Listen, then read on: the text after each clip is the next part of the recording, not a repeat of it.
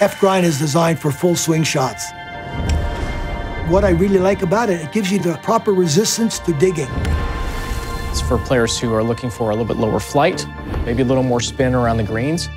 It's the only grind available in the 46 through 52, and it's available in the high bounce 54 and 56 for enhanced bunker shots. We're looking for something that you can swing at full speed and hit that window more often with.